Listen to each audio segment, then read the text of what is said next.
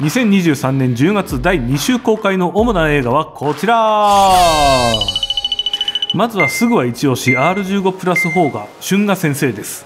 こちら死者で見ました。別にお金はもらってないけどハッシュタグ PR ステマ規制法。日本映画史上初めて無修正ぼかしなしで春画が完璧に大スクリーンに映し出されます。この春画先生ぼかしなしというところもすごいんですけれども映画として面白いんです。春画先生こと内野聖陽もいいんですけれどもなんといっても春画と出会って春画の虜になってしまった女子大生由美子役の北かなさんが素晴らしいです。由美子はもう全部が素晴らしいです。最高ですね。根本佑はいつも通りです。オペレーションフォーチュンも今週末公開です。こちらも死者で鑑賞済みです。別にお金はもらってないけどハッシュタグ PR これ必要なんですかね？よく分かってないです。ロックストックトゥー・スモーキングバレルズやスナッチなどの名コンビガイ・リッチ監督×ジェイソン・ステイサムが再び集結。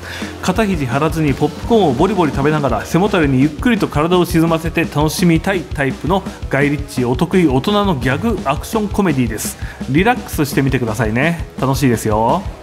そして僕も大好きなホラーシリーズである死霊館シリーズ最新作死霊館のシスター呪いの秘密もいよいよ公開ですね。あの恐ろしいシスターバラクが帰ってこなくていいのに帰ってきた。楽しみです。今週末は目白押しです。